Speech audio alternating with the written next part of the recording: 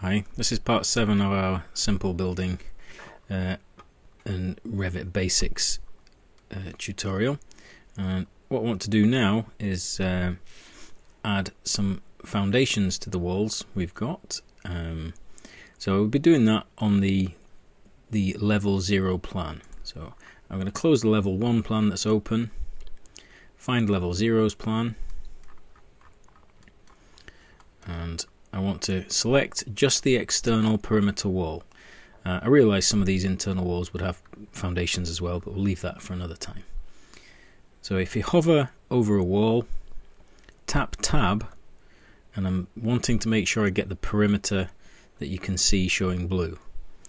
Sometimes when you do that, you might end up with a slightly incorrect perimeter. You can see it there. You can see it's, it's actually sneaking into the middle of the building.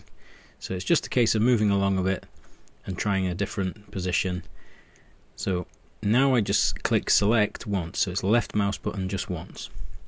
So I've got the walls and currently they don't go down very far. Let's have a look at their view. You see they, they're stopping above the edge of the slab. So let's push them into the ground by 900 millimeters. So we'll have a base offset of minus 900. Click apply. Okay, so they're going down now, and what I can do now is add some foundations to these. So if I go to structure and add foundation wall for foundations for walls. Okay, probably need to do this on the level 0 plan again. So select multiple, that will make it quicker and do the same method of selection. So we hover, tap tab key.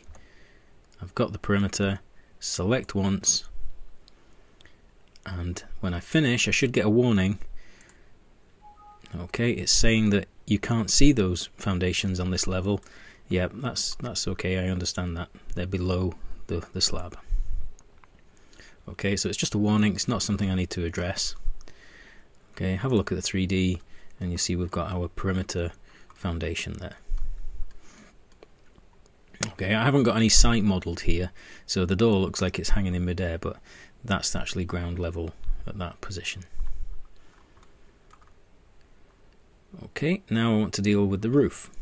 Okay, so uh, let's keep the elevation open, we'll see what's happening there, but I'll swap my plan for the level 2 plan.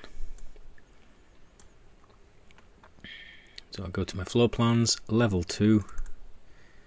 Okay, it's looking down onto the top of the walls of level 1, so I've got something I can trace round to get a perimeter. Okay, so I go to architecture now, and let's have a look for a roof.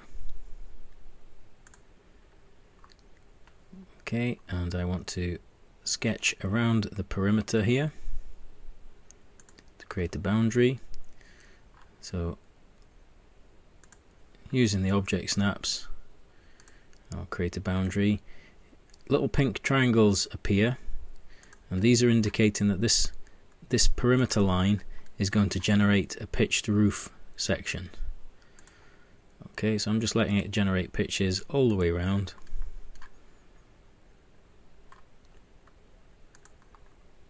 Okay, come back to the start. Okay. Now, if I if I just let it go at this position, then the roof will be kind of in line with the edge of the walls, and that would look fairly clumsy. So I'd like to offset this, and this is this has to be done pretty carefully. So I'm going to zoom in so you can see what happens. So let's set the offset distance before we try and do it. Okay, so let's say there's an offset of 450 millimeters. Okay, then I want to offset.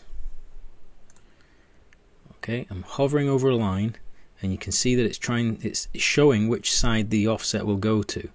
So the dashed blue line is showing which side it'll go to. So in the same way that we select multiple chains of things if you tap the tab key it's showing you that it's going to run around the whole building.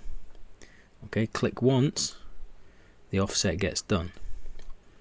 But now we've got two sets of perimeter lines for the for, for generating the roof, we'd end up with two roofs. So let's modify and let's delete the inside one. So hover over it, tap tab, click once with the left mouse button, and then you can delete.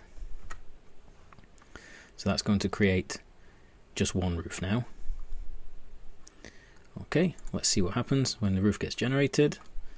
See that in the 3D view. If I click the tick now, very quickly throws together quite a complex roof. Because this is this building's tapering, there's there's quite a lot of geometry going on here. This this is sloping in, in basically two directions. It's sloping down here as well. There's a slight fall on that. Otherwise it wouldn't work out. Okay, now let's let's have a wee look at if we edit the footprint here and we switched off. If we uh, disable the the roof pitch on some of these lines so I click the line and it's letting me say you know which one's going to be sloping and which one's not. Um, so I can take the tick if I tick off here that line doesn't define a slope so it will generate a gable there now. So let's just see what happens if I with that. Okay so you see what happens? We get a gable there does look quite quite charming looks a wee bit less less clumsy okay turn around you can see what's what's happening so what we could do now is uh, is tell the walls to go to meet the roof. Now I haven't got any actual structure in there really. Uh, we'll make make the roof a little less steep. It's a wee bit steep at the moment. So we've got the roof selected. It's using a 30 degree pitch everywhere. Now this can be controlled. You can have different pitches wherever you want. So let's say the pitch is generally 15 degrees. Okay, flattens out. Looks a bit simpler wouldn't need to be so heavy. And let's change the uh, the structure for this roof. So this is where we'd edit the type. I just want to make the roof look a bit thinner actually. So edit type, edit the structure, and let's just thin down a couple of these layers just to make it look a bit more elegant. Okay, so let's say the insulation layer is only 100, which is nowhere near enough nowadays, and Let's make the purlins a bit thinner as well. Let's say 150. So probably a bit unrealistically thin, but uh, it's just for the for the look. Okay, click apply, and okay. So we've got that a fair bit thinner now. Right, what I'd like to do here is make the roofs join to the underside of the sorry, make the walls join to the underside of the roof. So if I hover over a wall tap tab mm, it's taking the wall inside there so let's try a different location there we go that's better it's not take, not taking any internal walls so I click on my walls and using this icon here I can attach the top to either up or down to different objects. So attach this to the top and I want to attach the walls to this object. Okay click in the white and that is super quick. Okay so when I look underneath the roof here I'm getting my walls going up meeting at the corners where they should do. Because it was a clean it was a sim similar offset all the way around okay so it's nothing too fancy but um, it's a useful exercise just to get you kind of for the feel of the way the the software works there's lots of nuances. There's lots of maybe structural things there that aren't quite um, quite correct, but uh, it does give you a reasonably good feel for the way the software operates. Now, what we'll do now is just have a look at how you how you basically set up a, a, a drawing sheet. Okay, um, so the views we leave them basically at the scale that we're we're, we're wanting. Okay, so I'll leave that one at a scale of, I'm going to change this to 1 to 200. This is a bizarre one, the 3D. So, okay, it, in a way it's kind of scaleless. These kind of axonometric, isometric things don't really work to scale. So I'm just going to set that one to 1 to 200 so it's a bit smaller. Okay, I've got my level 2 plan. I'm not going to print that one out just now, so I'm just going to close that one. Okay, I will be printing this elevation, and 1 to 100, I'll keep that as it is. And it was the plans that were changed to 1 to 10, so they'll be massive if I printed a full plan at 1 to 10. It's ridiculously big. Okay, so I'll change this to 1 to 100 as well. Okay, maybe a few dimensions here that we could get rid of, but I'll, I'll just leave them on. Okay, level 1 plan is at 1 to 100, that's okay. And I think the elevations that I'm interested in printing were both at 1 to 100. So I'll check the east one, that's at 1 to 100 as well, so that's fine. Okay, I'll close that one and we'll just leave the one open. And so now we want to, to create a sheet to work with. Okay, so we'll do this on the view ribbon and I'm looking for the the sheet command. Okay, where are you? I may be on the wrong one. No, there it is, new sheet. Okay, when with such a small cramped view for the uh, for the, for Camtasia for the screen capture, it's difficult to see what you you're working on. Okay, so I want a new sheet. Okay, and this is the one that comes with the software. So I'm gonna I'm gonna pull in one. I, I've used this and I've stripped it down a wee bit. So I'm gonna load my version, which is in on my desktop in one of my teaching folders. So I've got Revit teaching example, and I've got an A1 landscape. Okay, so this started life as the the metric one here, and I just basically deleted some of the some of the bits, uh, a bit of the clutter, give myself a bit more space to to show things. Okay, so open that, and I want to use that one. So OK. Okay, so I've got a blank sheet of paper with a title box. Okay, so I'm just going to zoom in on that and I'm just going to give the, the drawing a new number. So let's I'm just going to call this uh, Rev 1. It sounds like Revision 1, doesn't it? That's probably not a good name. Um, let's call it Revit 1. Went to lowercase there, sorry. Revit 1. Okay, so I've given it a number. That's important that it has a number. This stuff can follow. This can come from the the uh, be generated from from within the database, but we need a number, and so this will populate then onto where the uh, the uh, the views are taken. So it's dead easy to set up a sheet. You just go to the plan you're interested in, and we basically drag the viewport onto the piece of paper. Okay, so that viewport's going to fit there nicely. And I'll take the level 1 plan and drop that on and can you see it automatically lines up there's a there's a little snap there for lining up dead easy. This is so much easier to do than in AutoCAD. Getting viewports to line up. Okay I'm not worried about ceiling plans. I'll maybe have those on a different sheet. Um, elevations now. So let's take the east elevation and drop that on. Okay, I'll take the south elevation as well and drop that on. And what I'd like to do is have a section. I haven't generated a section. So let's go back to the uh, level 0 plan. And let's add a section line to the drawing. So if I go up here, you can see the section tool is on the view ribbon. Okay, it's asking me to save a project again. Just cancel that just now.